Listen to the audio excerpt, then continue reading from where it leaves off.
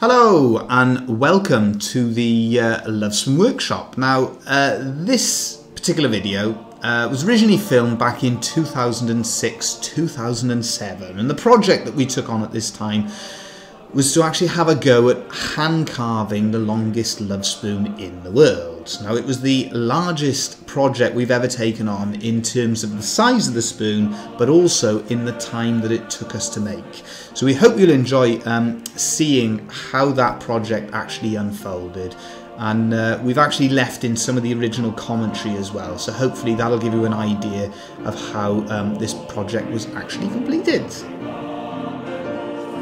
a little bit more scope. We haven't got a right size bench, so Dave is planing it up with an ordinary jack plane. But I thought you might be of interest because we're also using this uh, very old fashioned, almost looks like a Norris plane. Um, it's actually a Slater, and uh, we're using that. It's a little bit shorter, and um, it's a bit uh, easier to get up uh, the the, uh, the, the, finish. So we, we're using those two planes to give us a, a good finish. So what you've seen so far is us actually preparing the wood, getting it ready for making the longest hand-carved love spoon from. You've also got to do all of your drawings. All of our drawings, uh, they are hand-drawn uh, on paper um, itself. And then to transfer those paper drawings onto the wood, we use carbon paper. as you can see, it's a question of cutting, cutting down here, down here, and drill out then a hole there and do the same then for, for the other links. Just to experiment to see if, if I can actually cut out the links then, okay? Here we are. Right, I'm chiseling out now along here and then what I'm going to have to do is um, I need to drill a hole down there so for the pure at heart, we just drill a hole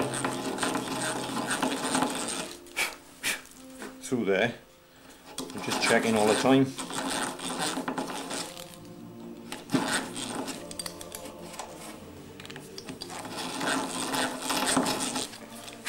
That's gone through, so we're okay. So I have to cut all the way down there, same there, and then work my way in through very very quietly I just have to try. And get in there and then I'm gonna have to use this other one as well. This will help. Once I take the once I got started with the coping saw I can then pop that blade in there and pop that one out.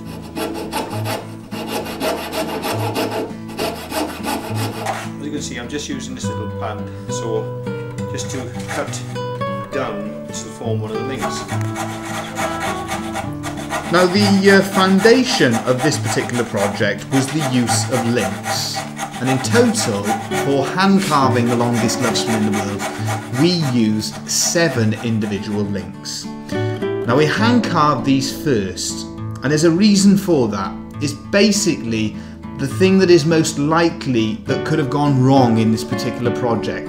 So by dealing with the links first, it meant that if something had have gone wrong, which you will see in this video did go wrong, it allows you to then adapt and still complete the project. So that is what we basically focused our attention on first, is hand carving all of the links.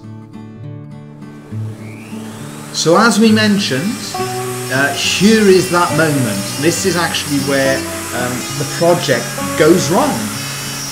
And it, it, very much sort of almost throws the project into a little mini crisis. Uh, basically, it was the only occasion that we used a power tool. We tried to use a router to take away some of the bulk of the wood um, in and around the link.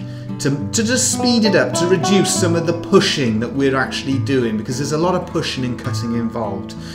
But unfortunately, um, as you can see on screen, it split the link. Um, there's a, two reasons for that. Firstly, it's the vibration of the router, but also when wood dries out, it naturally will open up, and at the end uh, of that particular piece of wood, splits had opened up, and that that caused um, the link to break. So we're really uh, very much in a sort of moment of crisis. Um, what do we do? Um, you can see there are other knots as well um, in the design, but those you can sort of work around, that sort of thing. So what are we going to do? So here we are, we're going to explain now what we'll do. I'm going to cut a new link here.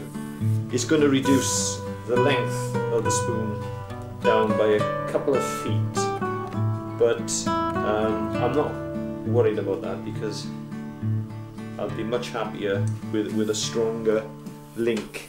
So that is what we did. We marked out a new link further in the wood and that allowed the project to continue.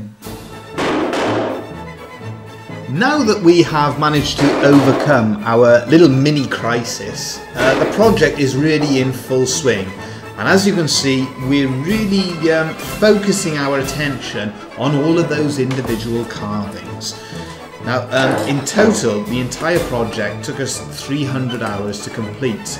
And a lot of that time was doing all of these individual carvings, all these different bits of detail. Um, and it's a really nice process. And in this particular case, the piece of wood that we were working with was large enough to allow both myself and dad to work on the project at the same time. And that's a really nice thing for us to be able to do that because normally when we're working on a love spoon, the wood is too small. We'd be getting in one another's way as we're working. But this project, because of the large nature of it, we were able to both get on the bench and start carving together. For those of you who are familiar with our work here at the Love Spoon Workshop, you will be aware that we always put a story behind our work, and the longest Love Spoon was no exception. It was based upon a theme of life's journey, and all the little carvings relate to different stories and incidents that have happened in and around the Love Spoon Workshop and in our own lives uh, since we started doing Love Spoons back in 1969. Now, um, what you can also see then on screen is us working on the bowl of the Love Spoon. Probably one of the largest bowls that we've worked on because it is of course the longest hand carved Love Spoon. You can see Dad as well working with the handsaw and what he's actually doing there is to free the different lengths of the panels which will eventually be opened out and allow us to form the longest hand-carved love spoon in the world.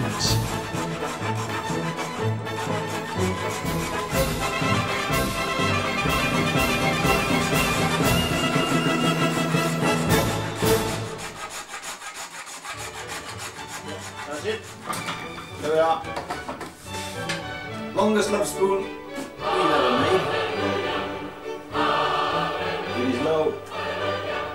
obviously not complete, but it's still a love spoon. So, um,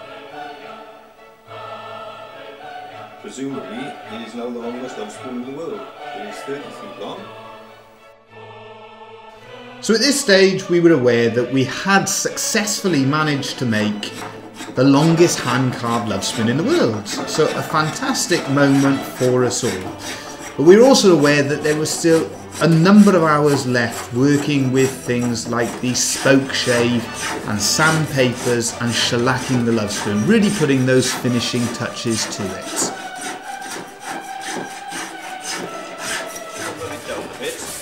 Uh, we put a first coat of uh, sealer on, I'm just rubbing down now. A bit of fine sandpaper and uh, rub it all down So there you have it. That is how we managed to hand carve the longest love spoon in the world here at the Love Spoon workshop. Now the completed love spoon, it is around about 30 feet long. It was carved from a piece of oak. The oak actually came from the Gwaun Valley, which is up in the north of Pembrokeshire. We got it from an organisation known as Coed Cymru, Welsh Wood. And they're an organisation uh, that we like because we know if they cut a tree down, they plant a replacement. So we also know that in keeping with what we do with all of our wood here at the Love Spoon Workshop, it is from a sustainable source. This was a lovely project for us to take on. Uh, it showed how you can use a link to make a piece of wood longer. And the end result was the longest hand-carved love spoon in the world. We hope you enjoyed seeing how that love spoon was made. We'll be back soon with more videos and feel free to like, comment and subscribe. But thank you again all for watching.